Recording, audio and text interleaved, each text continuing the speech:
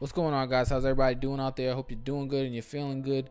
In this video today, I'm going to show you guys how to send out your projects from FL Studio to other producers so you guys can collab. I got um the idea of this video from Facebook Messenger. Someone hit me up and asked me uh, this question, so I'm just gonna do a video for everybody.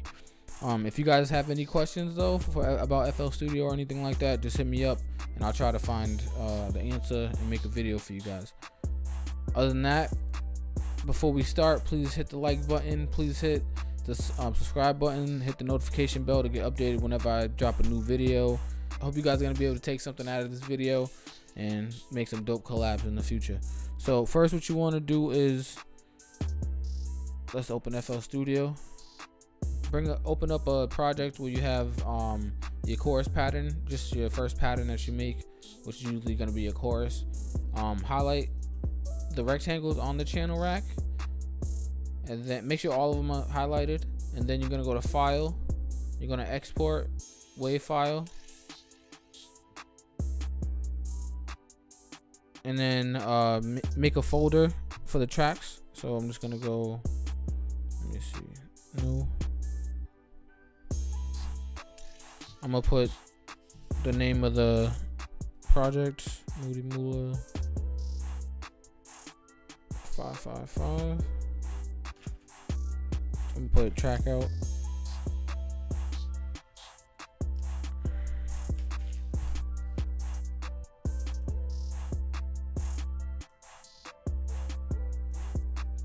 Okay, and then so once that once you guys do that, this window is gonna pop up, and the settings that you want to have on is uh, leave remainder.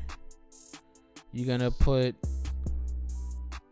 split mixer tracks 24 bit wave and I have mine on the high highest quality. Um the higher the quality the slower it's going to take to export out and then all you're going to do is press start. Yeah you got it on pattern. Oh yeah make sure this is on pattern. Boom and then press start. All right so now i'm gonna go to the folder where i where i have everything And here we go. They're all tracked out right here. Everything's right here.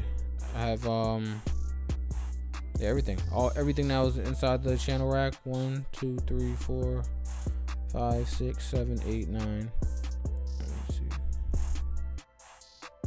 One, two, three, four, five, six, seven, eight, nine. So I have nine tracks.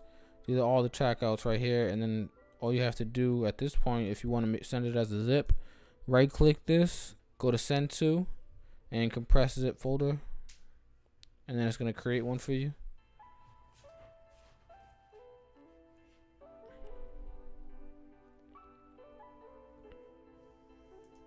Boom, right here. You see it's right here. I'm gonna put this on desktop just for this video. And then um yeah, you can go in here. And rename all the tracks how you want, whatever. But eh, according to what they are, so the person who's receiving it could easily organize everything and work with it. But uh, yeah, so that's the tracked out part and turn it into a zip file. So let's do the MIDI files now. What I suggest before we even start the MIDI files part is save your project how it is. Let's say you just started it or whatever, just save it.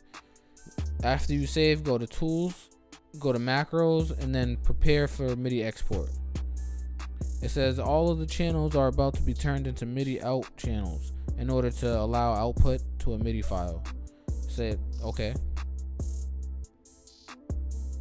Okay, now it's like this. Now you're gonna go to uh, file. You're gonna go to go to file, export. Then you're gonna go to MIDI file. Make a folder for this.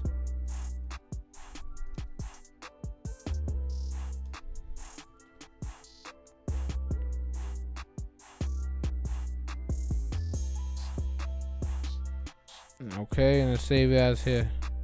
And for the export um, settings, you're gonna have it the mode on pattern, the tail on leave remainder, and split by channel, mixer channels again, and then just export. I mean, press start.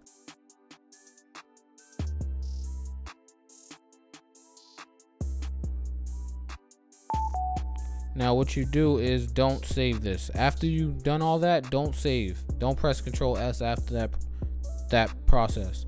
Because if you do, then it's gonna stay like this and they're not gonna have the sounds, I don't believe. Let's see what it sounds like. Yeah, I don't think you can hear anything, right? No. Exactly.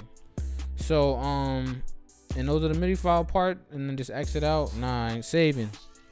Okay, guys, here we are back in FL Studio, and we already exported the track out files. We exported the MIDI files, and now I'm gonna send the track outs, the MIDI files, and I'm gonna send the FLP to my boy Conflict and have him collab on it and show you guys that process. So we're just gonna minimize this. Boom.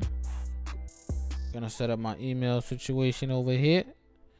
So I'm gonna grab the MIDI files. I'm gonna grab the track out files. And I'm also gonna grab the FLP. You can just go to where your projects are in FL your FL Studio. Mine is right here. So I'm just gonna take these, drop that right there. And it's called a FLP, a Fruity Loop project file. And yeah you just drop it in from right where your projects are. And then they should be able to open it up from the other side. But some people want to just have the track outs and the the MIDI so might as well just show you everything Alright guys, so that's pretty much it. Then all you have to do is press send. And that's pretty much it. I hope you guys got something out of this video.